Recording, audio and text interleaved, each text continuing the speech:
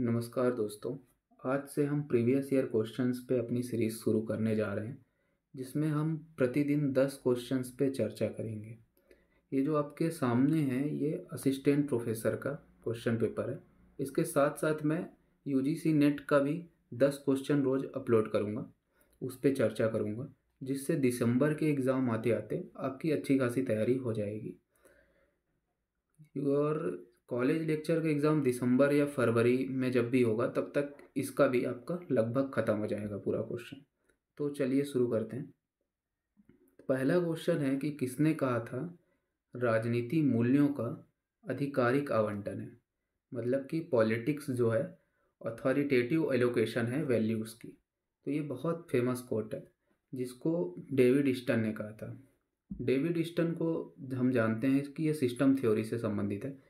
और इसने अपनी बुक लिखी थी the political system an inquiry into the state of political science मतलब बुक का पूरा नाम भी कई बार पूछता है तो आप लोग पूरा नाम भी देख लीजिएगा।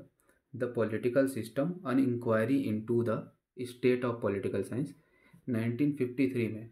और उसमें इसने ये वाली बात की थी कि मूल्यों का आधिकारिक आवंटन है, राजनीतिक व्यवस्था के बारे में जो उसने बताया।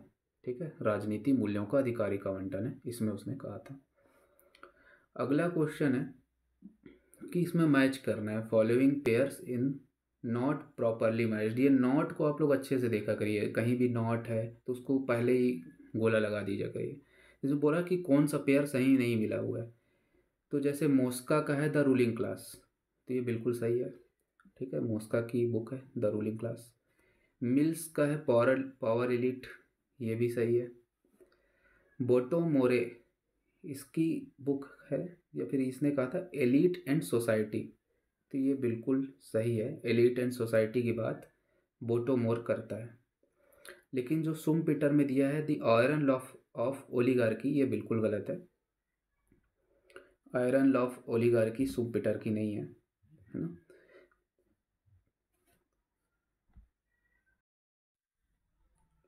ये रॉबर्ट मिशल की है। तो जो आयरन लॉ ऑफ़ ओलीगार की है, ये रॉबर्ट मिशल की है। सुम पीटर की नहीं है।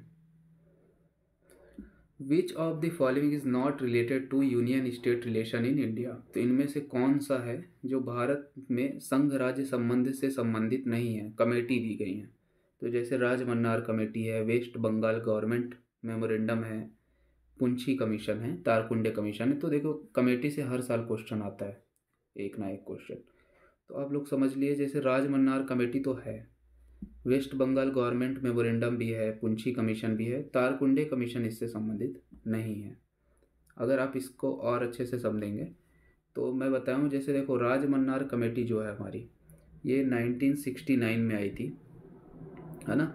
और डीएमके गवर्नमेंट लेके आई थी इसको तमिलनाडु में। तो ये स्टेट भी कई बार पूछ लेता है, तमिलनाडु में आया था, और ये सेंटर स्टेट रिलेशन से संबंधित है। वैसे ही पुंछी आयोग जो है, ये 2007 में आया था।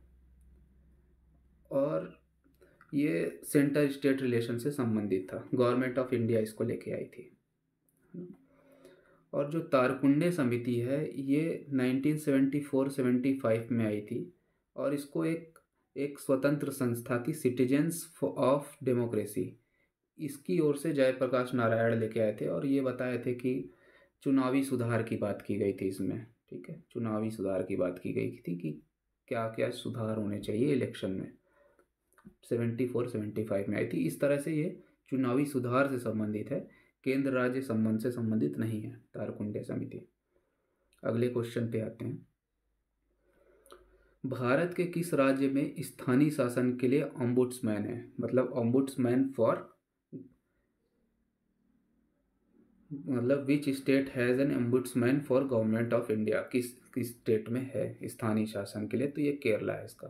मतलब वन लाइनर क्वेश्चन वो of the following was not a member of cabinet mission India तो कैबिनेट मिशन में वैसे तीन मेंबर होते हैं। तीन मेंबर आए थे, ठीक है? उसका कैबिनेट मिशन जो था, देखिए, तीन मेंबर आए थे। और 1946 में ब्रिटेन का प्रधानमंत्री था एटली, और उसने इसको भेजा था तीन सदस्य था। और इसमें था तीन सदस्य थे जैसे Pethick Lawrence, sir Stafford Cripps और ए वी एलेक्जेंडर, तीन सदस्य थे। तो देखिए, स्टेफर्ड क्रिप्स भी थे, पैथिक लॉरेंस भी था और ए वी एलेक्जेंडर। तो जॉन साइमन नहीं था, क्योंकि साइमन तो साइमन कमीशन में आया था 1927 में आया था साइमन कमीशन। और इसमें जॉन साइमन आया था तो ये कैबिनेट मिशन में नहीं आया था। अगली बात, अगला क्वेश्चन देखते हैं कि कौन इनमें से नेहरू समिति का सदस्य नहीं है? मतलब कि not a member of Nehru committee not कौन नहीं है? ठीक है नॉट तो इसमें देखोगे तो मोतीलाल नेहरू तो उसके अध्यक्ष थे। सुभाष चंद्र बोस भी उसके सदस्य थे तो अब आप लोग एलिमिनेट कर लोगे, या तो जवाहरलाल होगा, या अली इमाम होगा। तो इस सिंपल सी बात है, जवाहरलाल नेहरू उसके सदस्य नहीं थे, ये अपने पिता के खिलाफ थे, इसके सदस्य नहीं बने थे। तो बाकी थे, सर अली इमाम भी इसके सदस्य थे। ठीक है? खिलाफत आंदोलन निम्नलिखित में से किस मुस्लिम देश से जुड़ा हुआ है? ये बहुत आसान सवाल है, तुर्की से। क्योंकि जब फ़र्स्ट वर्ल्ड वार चल रहा था तो तुर्की जो था ना वो हार रहा था और इसलिए उस वहाँ के खलीफा के पद को ख़त्म कर रहा था जो ब्रिटेन था। तो उसके खिलाफ खिलाफत आंदोलन शुरू होता है। तो ये आसान सवाल है। Hunter commission report was related to. Hunter commission किससे संबंधित है? तो हंटर कमीशन ना, जब जलीवा वाला बाग होता है, तब बहुत गुस्से में रहते हैं भारतीय और आंदोलन करते रहते हैं। तो उसकी जाँच के लिए हंटर कमीशन बैठाई जाती है। तो ये सी है, जलिया वाला बाग के लिए हंटर कमीशन बनी थी। देखो तो ये है चौदह चौदह अक्टूबर 1919 में इसकी स्थापना की गई थी, ठीक है? हंटर कमीशन की स्थापना की गई थी जलियावाला बाग को लेके। अगला है कि इनमें से सही सही तरह से मैच कौन सा नहीं है? कौन सा युग में सही सुमेलित नहीं है? पूछा है। जैसे पॉल आर ब्रास का है, बुक है, factional politics in an Indian state. तो ये एकदम सही है, ब्रास की थी ये बुक है factional politics Indian Indian state. Selig Harrison की बुक है, India the most dangerous decades. ये भी सही है। ये वाली book the idea of India ना, ये अतुल कोहली की नहीं है।